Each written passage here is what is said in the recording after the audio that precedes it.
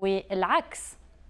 مشاهدينا خلال المباراة أيضا قام رونالدو بالوقوف في وسط الملعب وأظهر الفيديو رونالدو غاضبا. مطالب بطرد رونالدو من السعودية بعد تصرفه في مباراة الهلال. دعوات بطرد كريستيانو رونالدو من السعودية. السلام عليكم لطفا. قبل أن نبدأ لا تنسوا أن تعطروا فمكم بالصلاة على النبي ولا تنسوا أن تضغطوا لايك واشترك في القناة وتفعيل زر الجرس. مساكم بالخير. عندنا سحب على 100 جوال 14 برو ماكس وسحب على 100 ألف جنيه مصري. كل الشروط تتفرج على 30 فيديو سابقين على قناة كورة شراب وتكتب تم في التعليقات على 30 فيديو وتشترك في القناة. مطالب بطرد رونالدو من السعودية بعد تصرفه في مباراة الهلال. سقط الأسطورة كريستيانو رونالدو قائد فريق النصر السعودي في أزمة جماهيرية جديدة داخل المملكة العربية السعودية بعد تورطه في واقعة غير أخلاقية أمام جماهير الهلال الغريم التقليدي. وتورط رونالدو في أزمة كبيرة بعدما قرر الرد على استفزازات الجماهير الهلال على هامش مواجهة نهائي كأس موسم الرياض والتي جمعت بينهما على ملعب المملكة أرينا.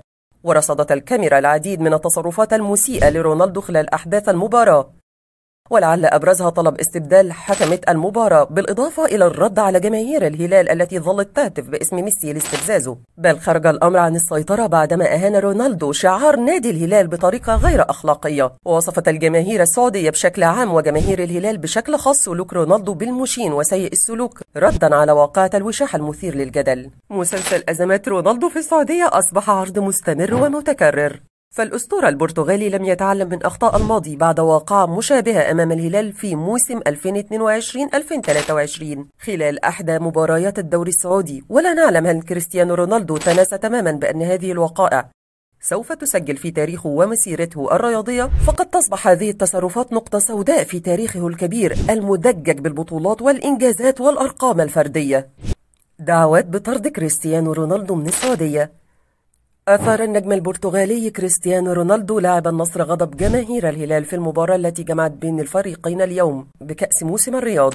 ونجح الهلال في الفوز على النصر بهدفين دون رد في اللقاء الذي أقيم على ملعب المملكة أرينا ليتوج الزعيم بكأس موسم الرياض في موسمه الرابع. وافتتح سافيتش التسجيل للهلال في الدقيقة 16 من عمر المباراة وأضاف سالم الدوسري الهدف الثاني في الدقيقة 30 من عمر الشوط الأول من تسديدة قوية من خارج منطقة الجزاء.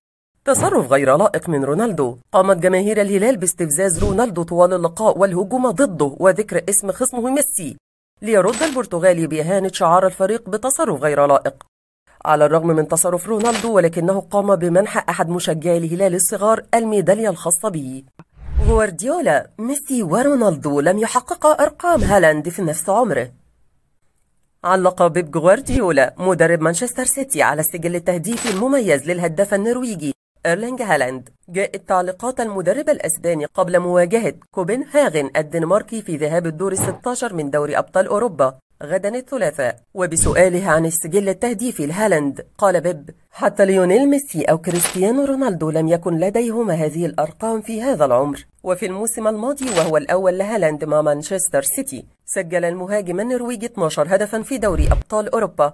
ليقود الفريق للفوز بلقب البطولة للمرة الأولى في تاريخه. وأضاف المدرب الإسباني نحن لا نمارس أي ضغط على هالاند لإجباره على التسجيل. كل لاعب لديه أم وأب يلعب من أجلهما. أما ناثان أكي مدافع مانشستر سيتي فقال عن هالاند إنه لا يترك أي شيء يؤثر عليه عندما يفوت الفرص في المرة التالية يعود مجددا إنه قوي عقليا. وعن مواجهة كوبنهاغن قال غوارديولا قلت للاعبين هذا الصباح إن عليكم أن تكونوا مستعدين ذهنيا للمعاناة غدا. عادة لا تجذب علي أحاسيسي. غوارديولا هالاند أفضل من ميسي ورونالدو. أكد الإسباني بيب جوارديولا مدرب مانشستر سيتي الإنجليزي بطل السداسية التاريخية أن إحصائيات نجم النرويجي إيرلينج هالاند 23 عاما أفضل من أيقونتي الكرة الأرجنتيني ليونيل ميسي والبرتغالي كريستيانو رونالدو. عندما كان في عمره. وقال لا نضغط عليه أبدا كي يسجل فقد شارك في الهجمة والباقي يأتي بشكل طبيعي. يجاري الإيقاع بشكل مثالي لأنه قوي جدا ذهنيا. إحصائياته بهذا السن أفضل من ميسي ورونالدو عندما كان بسنه. وكشف المدرب عن تحدثه بكلمات بينه وبين نجمه بين شوطي مباراة الفوز على المضيف إيفرتون أشعلت حماسه ليسجل هدفين وقال إيرلينج شاب ويلعب في أكثر المواقع صعوبة في الملعب. ويحيط به أربعة أو خمسة لاعبين بمساحات ضيقة جدا. في تلك اللحظة كان يتوجب عليه أن يكون إيجابيا عندما سجل هدفا انتفض لكنه ليس بحاجة ليسجل كي يثبت أهميته. فهو يساعدنا في أشياء أخرى. جورجينا تتألق في أحدث ظهور عبر الإنستغرام. شاركت جورجينا صديقة كريستيانو رونالدو صورا جديدة لها عبر خاصية story من خلال حسابها الشخصي على مواقع تبادل الصور والفيديوهات الانستغرام خلال خاصية ال story وظهرت جورجينا بإطلالة شتوية متميزة أبرزت جمالها. كشفت جورجينا رودريغز عن الهدية التي اشترتها لكريستيانو رونالدو على الانستغرام حيث شاركت مقطع فيديو له وهو يشكرها بقبلة بعد أن فاجأته عند باب منزلهم الأمامي. وكتبت رسالة صادقة إلى جانب الفيديو الذي تم ضبطه على أغنية side by your قائلة 37 عاما سعيدا يا حب حياتي. نحن نحبك إلى ما لا نهاية. أفضل أب وأفضل رفيق في الحياة. أعطانا إياه الله. مقاتل وتستحق كل شيء جيد يحدث لك أنت ملهمنا. كاربخال يجيب على سؤال الأفضل بين ميسي ورونالدو. أجاب داني كاربخال لاعب ريال مدريد على سؤال الأفضل بين كريستيانو رونالدو زميله السابق في الفريق ولاعب النصر السعودي الحالي وليونيل ميسي لاعب إنتر ميامي الأمريكي. وقال الظهير الأسباني في حوار مع دانيال هبث أضع الثنائي في نفس المستوى أنا لا أفضل أحدهما على الآخر. إنهما وحشان بمعنى الكلمة.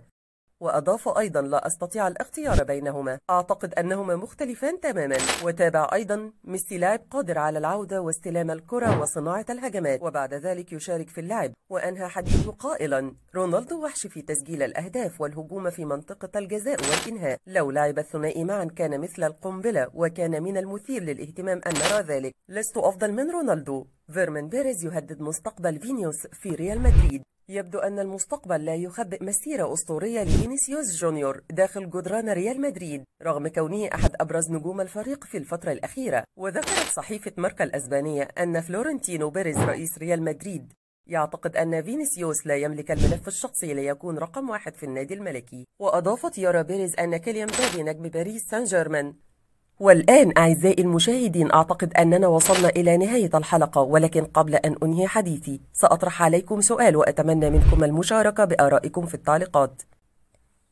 ما هو سبب رحيل كريستيانو رونالدو عن النصر؟ لا تنسوا أن تشاركوا بآرائكم في التعليقات ولا تنسوا أن تضغطوا لايك أسفل الفيديو من أجل دعمنا. وفي النهاية أتمنى منكم الاشتراك في القناة وتفعيل زر الجرس لكي يصلكم كل جديد أول بأول. وقبل أن ننهي الفيديو كالعادة لا تنسوا الصلاة على النبي.